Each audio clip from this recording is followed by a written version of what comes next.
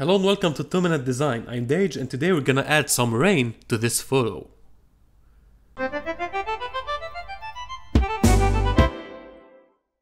I've opened this photo in Photoshop. You can download it for free using the link in the description.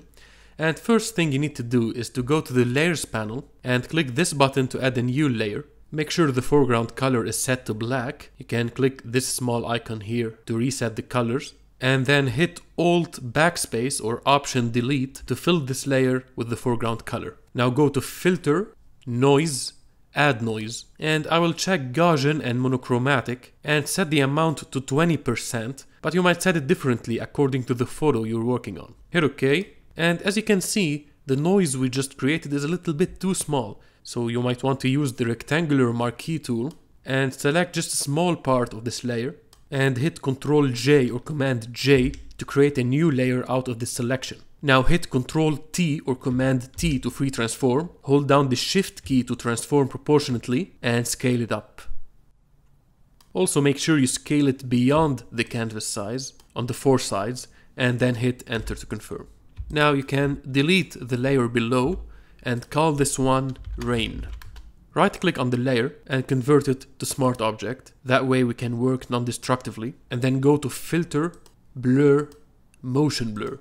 Here you can set the angle and the distance as you want. So the more the distance is, the longer the raindrops will be. Hit OK. And with the rain layer still activated, click this button to add an adjustment layer and select levels. Hover the mouse cursor between these two layers, hold down Alt or Option, and when the cursor changes, click once to create a clipping mask. So now this adjustment layer is only affecting the layer below it. In the levels properties panel, you can drag this input slider to increase the intensity of the raindrops and this input slider to control the amount of raindrops.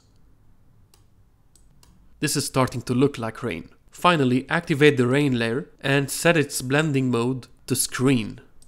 Look at that you might need to adjust the levels a little bit. And since this is a smart object, you can always double click on the motion blur to adjust it as well.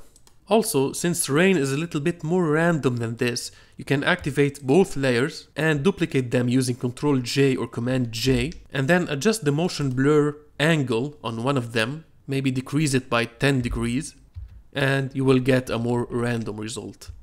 That's it. You know, there's an old saying that goes something like, do not fear your face, but face your fears. Now, how does this apply to what we just did? Eh, well, it doesn't, but it just like, oh my